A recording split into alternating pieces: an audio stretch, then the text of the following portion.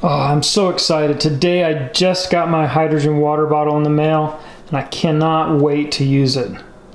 Let's open it up and take a look. Oh, look at that. It looks simple enough.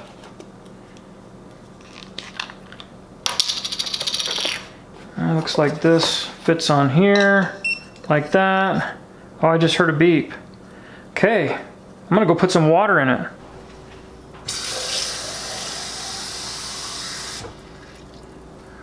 All right, I'll just put the cap on. Okay, let's see it go. Huh, doesn't really work. Maybe I'll try tapping on it. There we go.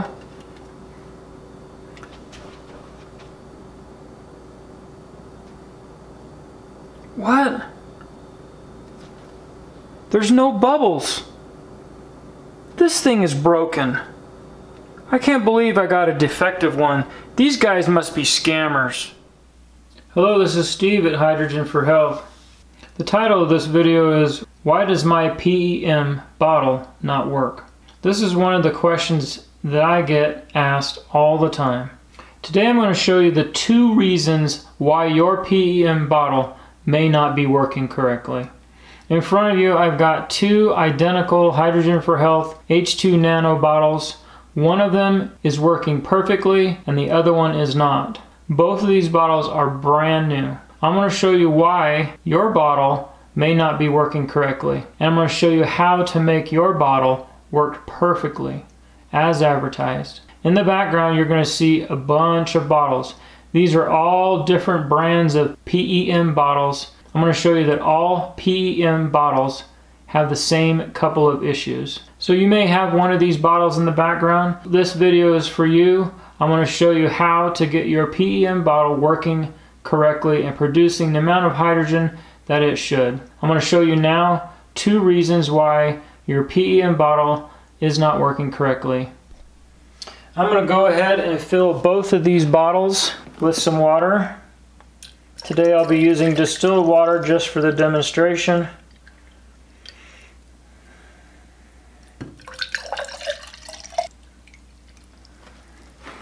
All right, and now I'm going to turn both of the bottles on.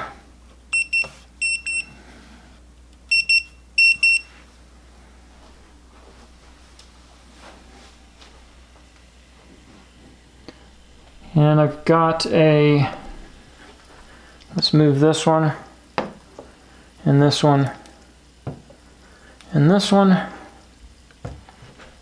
so that you can see the production of both bottles. Now it's pretty obvious that the one on the left is producing a lot more hydrogen than the one on the right. Like I said, both of these bottles are brand new right out of the box. Now this bottle on the left is producing a lot of hydrogen. You're going to get a lot of hydrogen content into that water. And this bottle on the right is producing some hydrogen, but not much at all. This bottle will not be able to put hydrogen into the water very well. The reason for this is that the membrane is either dry or oversaturated. Right now, I can tell you because of experience that this membrane in this bottle on the right is dry. With a dry membrane, you can't produce hydrogen very well. If you take your bottle out of the box, you've watched the instructional video, and your bottle looks like this, it's probably because the membrane is dry or there's another reason I'll show you later. Now you may be thinking that this just happens on the Hydrogen for Health bottle. I'm going to show you all these hydrogen bottles in the background. They all have dry membranes. I'm going to show you what happens when you start up a PEM bottle with a dry membrane. Let's go ahead and fill these up with some water.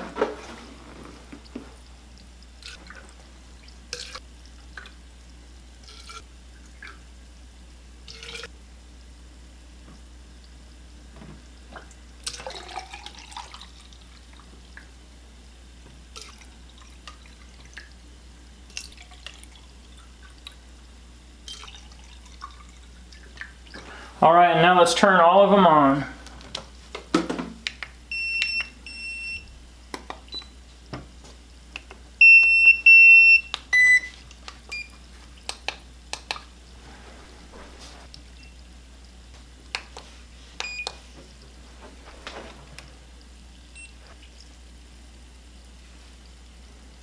Okay, now as you can see, these three bottles, the one on the left barely producing, the one in the middle barely producing, the one on the right isn't producing anything at all. Now you look at this bottle here, not producing anything. The bottle in the middle from Korea, producing nothing.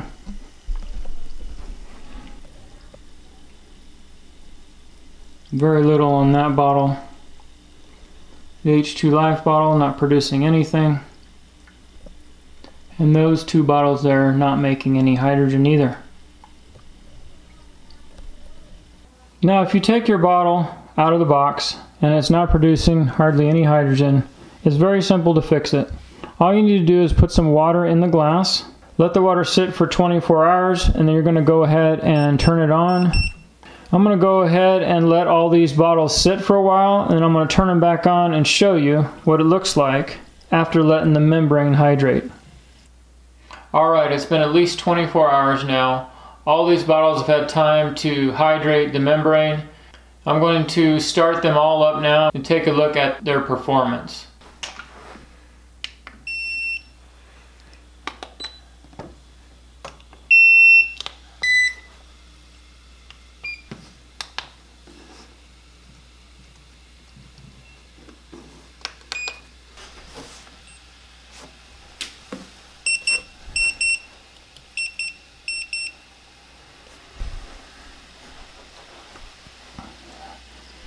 As you can see right in front of you, the two hydrogen for health bottles. The one on the right had a dry membrane. Now you can see it's producing just like the other one that had a hydrated membrane.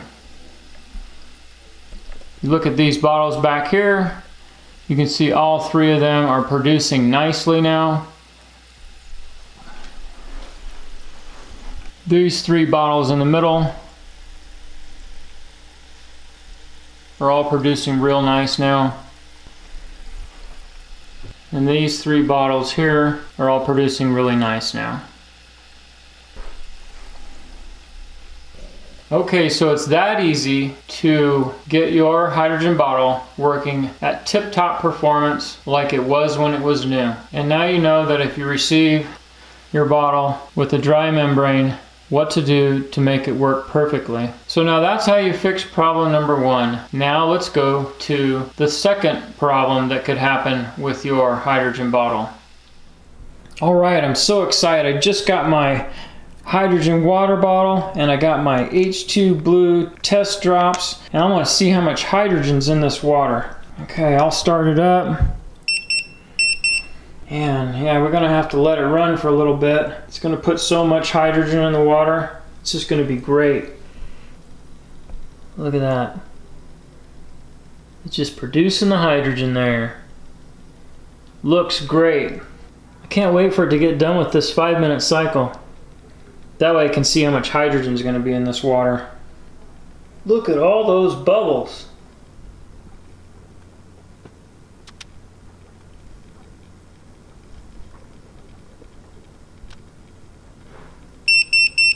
All right, it's done now. Okay, we're gonna test it and see how much hydrogen's in the water. All right, I'm gonna grab a sample of this water and I'm gonna take a look. I'm gonna put some drops in here. We're gonna see how much hydrogen's in this water. There we go. Here's my sample. Now let's put some H2 blue in it. There's one drop, there's two drops, three drops. Okay, let's see what we got in here. All right, it took three drops, four drops. Oh, it took four drops. There's five right there. This thing's gonna take a lot of drops. There's five.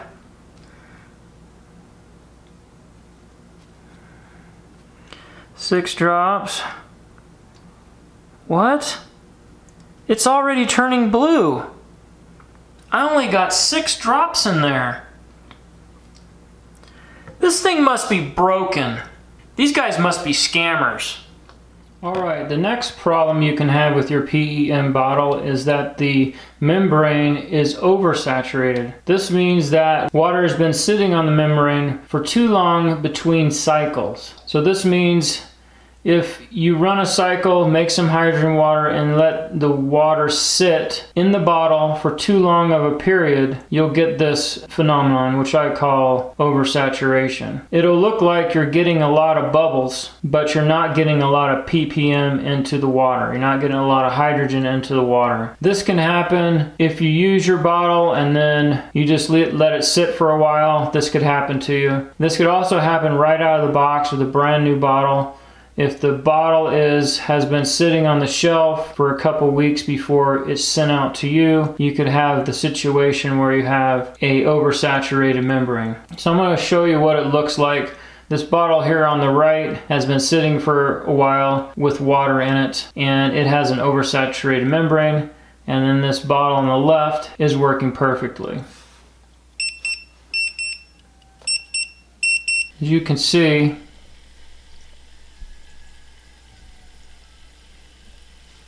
The one on the right looks like it is making a pretty good amount of bubbles. And uh, your PEM bottle may make less bubbles, but it will make some bubbles if it's oversaturated. And the one on the left is just making a lot more bubbles and they're a little bit bigger bubbles. So take a good look at that. This is how you tell if your membrane is oversaturated. It'll look like this. And this can happen on all PEM bottles. So this goes for every bottle that is a PEM bottle just like the ones I have here in this video. There is a simple way to fix this. All you have to do is run your bottle three or four cycles and then it'll look like this on the left. So if you get the situation where you make hydrogen water and you're testing with the H2 blue, the hydrogen content comes out really low, then you know that you have an oversaturated membrane. All you have to do is run it three to five times and you'll be able to have the hydrogen content put in the water as advertised. So we just tested this water and it was and it got five drops so that means it's 0.5 ppm. I'm gonna run it for three or four cycles and then we're gonna test the water again.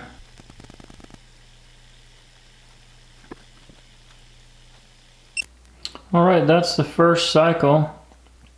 I'm gonna go ahead and run it again. And we'll compare it to the one on the left.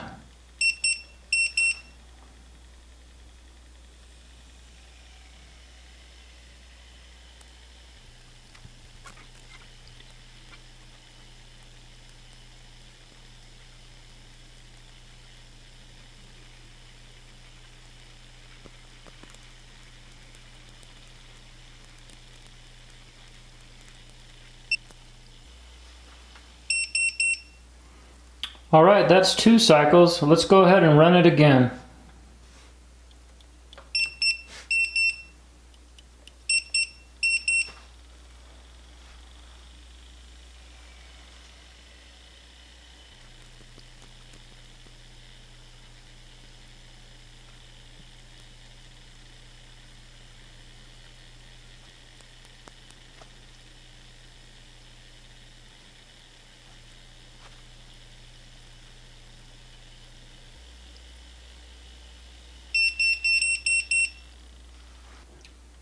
All right, that was the third cycle. Let's go ahead and run it one more time.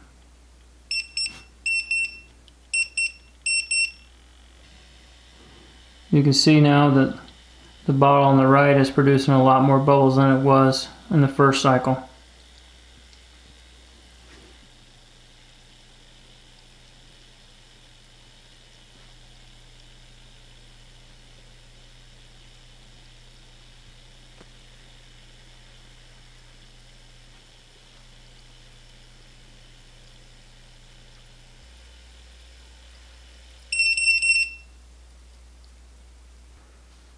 All right, now I've run it four times. What I'm gonna go ahead and do is I'm gonna empty out this water. I'm gonna put some fresh water in. Then we're gonna run it for a five minute cycle and see how much hydrogen's in the water.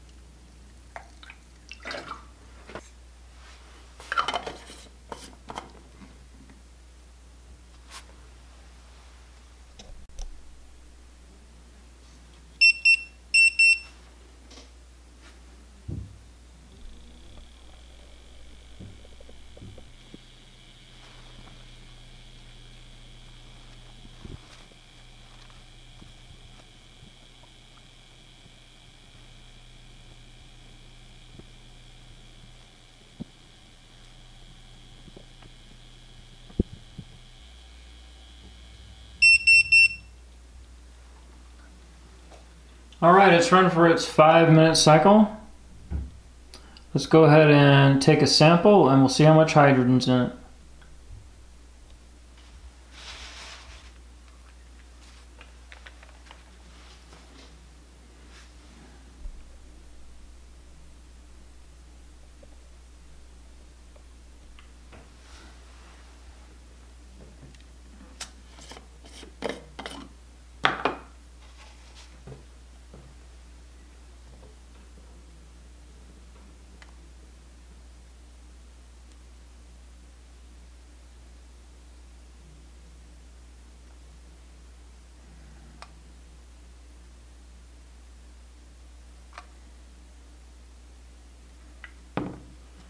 All right, there's our sample.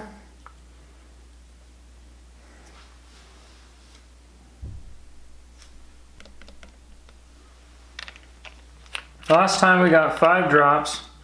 Let's see what we get this time. One, two, three, four, five. So there's five drops.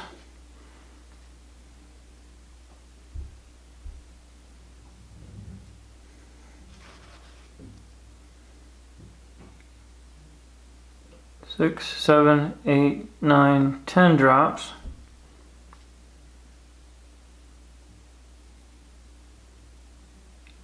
So right there we've doubled our hydrogen content.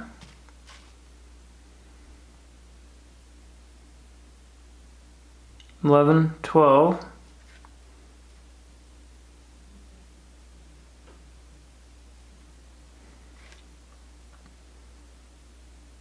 13, 14.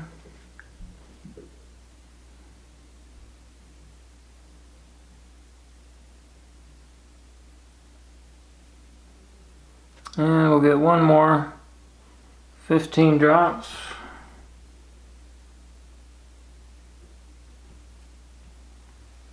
So we tripled the hydrogen content of the water just by running the bottle three to five times with what I call an oversaturated membrane. Now you can see all our PEM bottles running again. They're all running like they were when they were brand new. So I hope these two simple tips will help everyone out. So when you take your hydrogen bottle out of the box, if it doesn't generate any hydrogen, or if it's not putting enough hydrogen into the water, now you know what to do. The goal of this video is to help as many people as I can. This is Steve, thanks for watching.